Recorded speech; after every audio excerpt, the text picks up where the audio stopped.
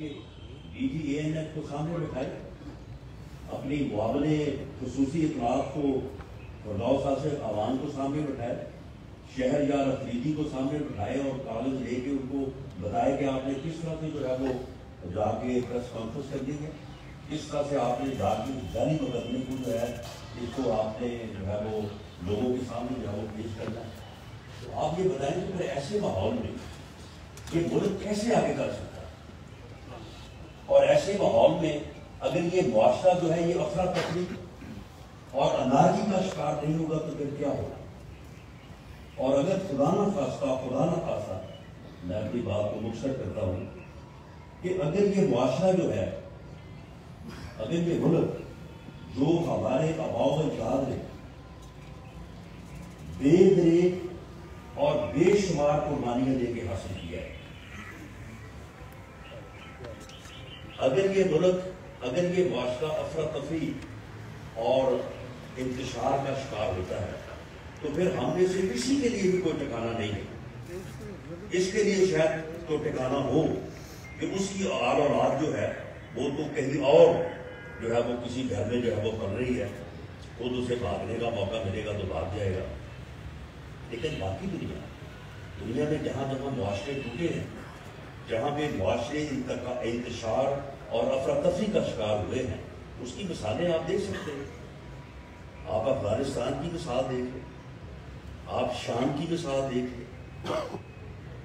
शाम के बशिंदे जब उस मुल्क से भागे हैं तो समुद्र के किनारे उनके बच्चों की मुर्दा तस्वीरें देख के पूरी दुनिया रोई है।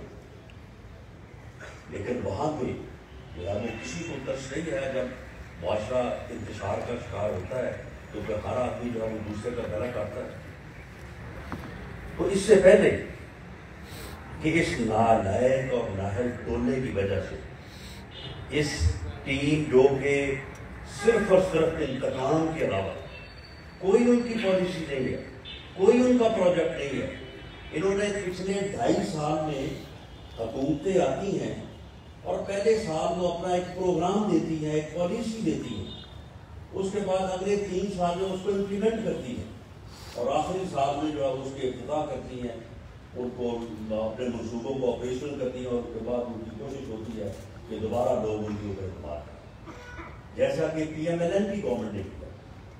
लेकिन हमें एक साजिश के तहत, एक साजिश के तहत मियाँ नवाज़ शरीफ को तमाम प्रोजेक्ट्स के जो है वो इतफा करने या उनको ऑपरेशन करने से ज़रूर रोका ये मोटरवेज ये बिजली के कारखाने, ये सब के सब आपके इलम में होगा।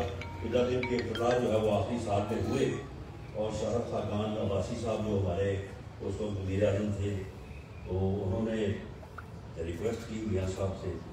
तो कि आप, मैं चाहता हूँ कि आप भी उस मौके पे मौजूद हुआ करें।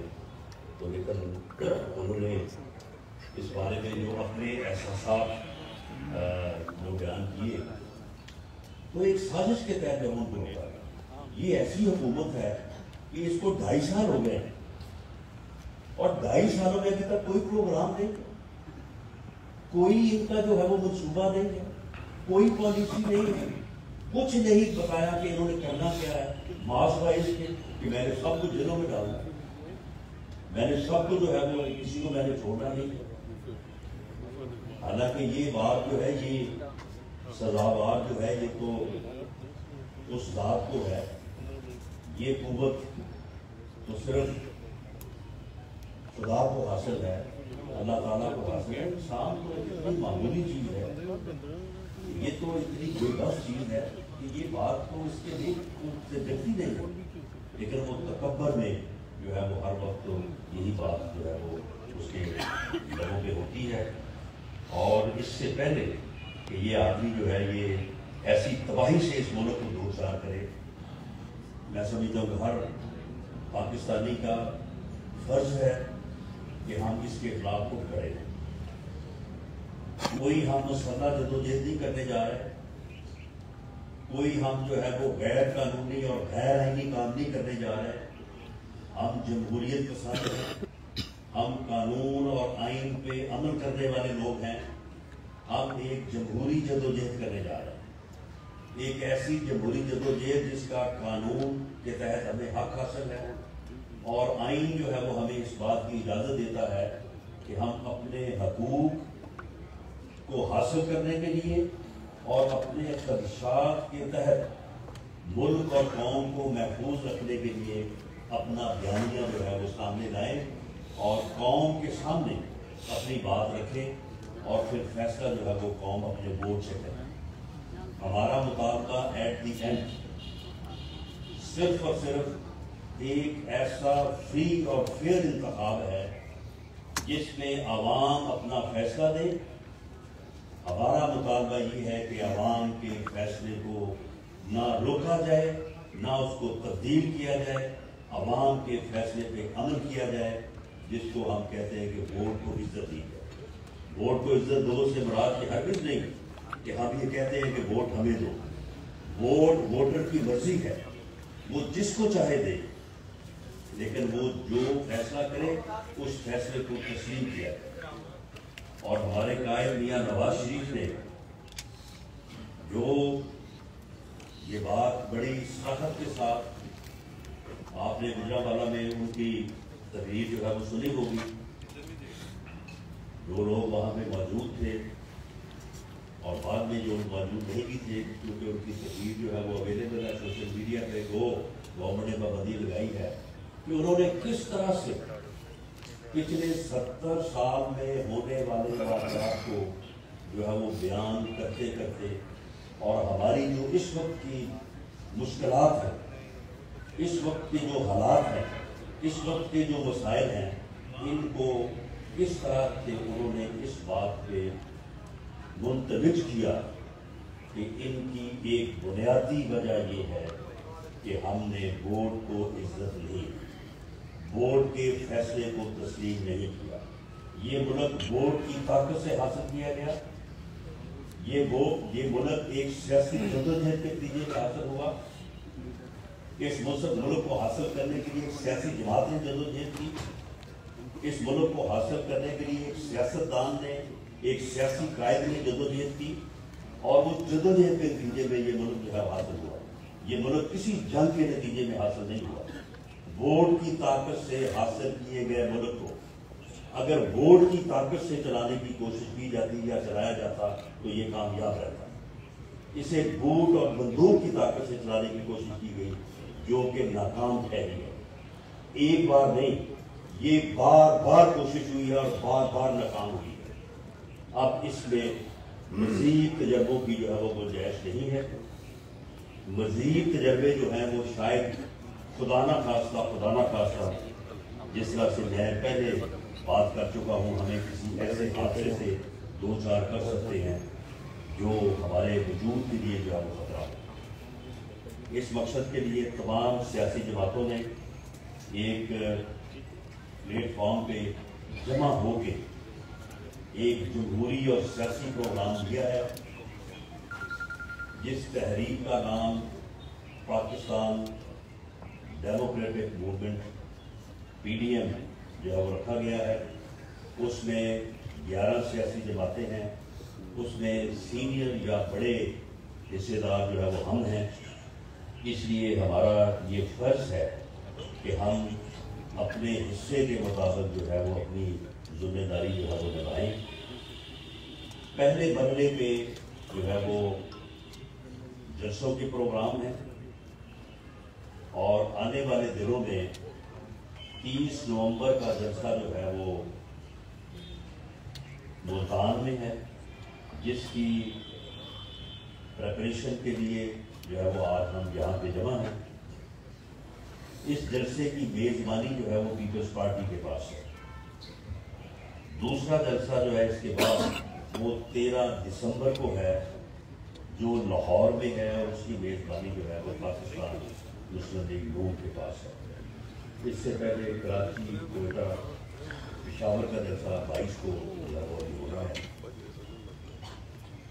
और इसमें जो प्रोग्राम्स हुए हैं, जो जलसे हुए हैं, उसमें लोगों ने जिस अंदाज से शिरकत की है और उसमें मियाँ नवाज़ शरीफ ने जो बयानियाँ या अपना मौक़ जो है वो पेश किया है, उसकी जिस अंदाज से जो है वो पजीराई हुई है, वो हमारे इस खर्चे को, हमारी इस दलील को, हमारे इस मौक़ को दुरुस्त साबित करता है और अवामी राय जो सामने आई है वो यही है कि इस मौजूदा कठपुतली गैर नुमाइंदा सिलेक्टिव गवर्नमेंट को जो है वो घर जाना चाहिए जो सिलेक्टर्स हैं उन्हें मेहरबानी करके हमारी किसी से लड़ाई नहीं है हम इस मुल्क के अदारों से लड़ना नहीं चाहते हम ये चाहते हैं कि इस मुल्क के अदारे जो है वो आईनी हदूद में रह के काम करें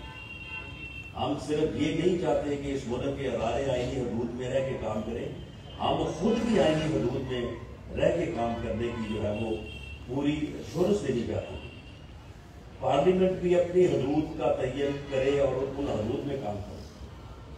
अदलिया, तमाम अदारे जो हैं, वो अपनी हदूद में काम करें, उसी से जो है वो मुल्क जो है वो आगे बढ़ेगा। इसके अलावा हमारी, किसी के साथ जो है वो कोई जो है वो मुखासमत या मुखातब नहीं है।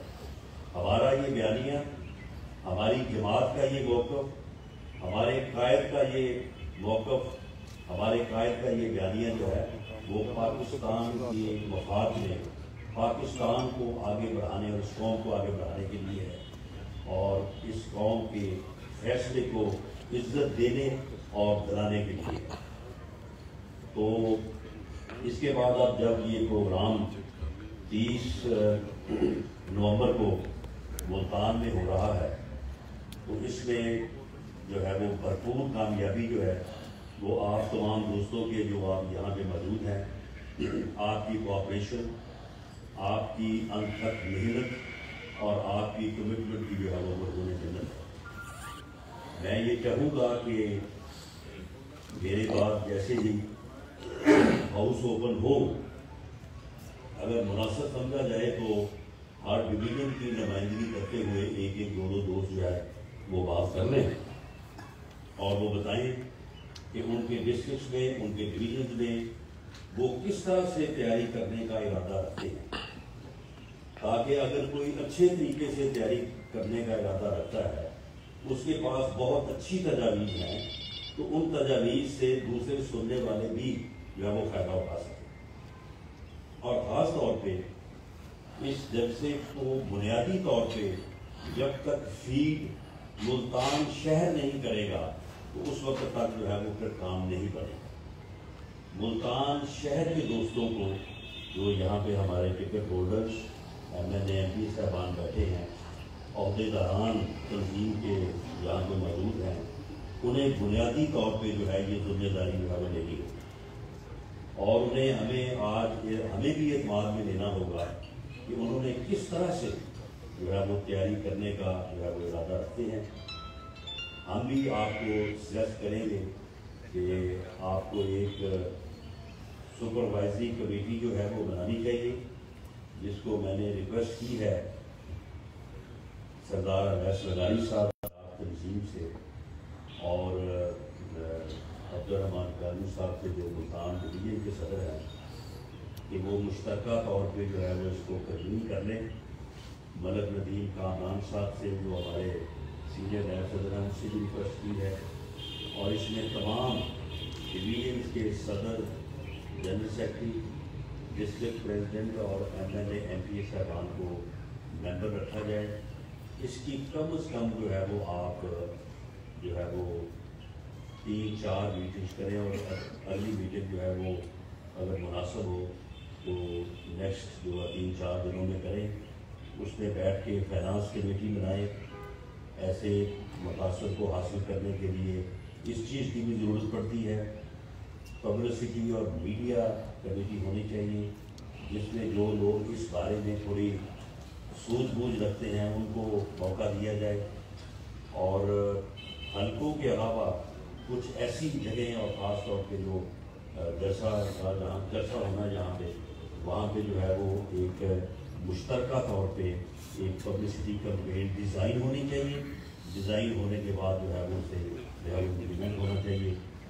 और तमाम कम अज़ कम मुल्तान शहर में हर यूनियन कौंसिल में आपको एक गैदरिंग का अहतमाम करना चाहिए। उसके लिए जो चेयरमैन साहबान हैं, उनको एतमाद में जो है वो लेना होगा और बाकी अजला और बाकी डिवीज़न में भी, इसी तरह से हर सूबाई हल्के यूनियन काउंसिल ने जो है वो इस बात को आपको जो है पूरी तरह से इसका अहतमाम करना चाहिए। और मैं ये चाहूँगा कि बीस तारीख से दस दिन पहले हर सूबाई हल्का जो मुल्तान शहर का है, जिस तरह से आप अपना एक मेन इलेक्शन ऑफ़िस बनाया करते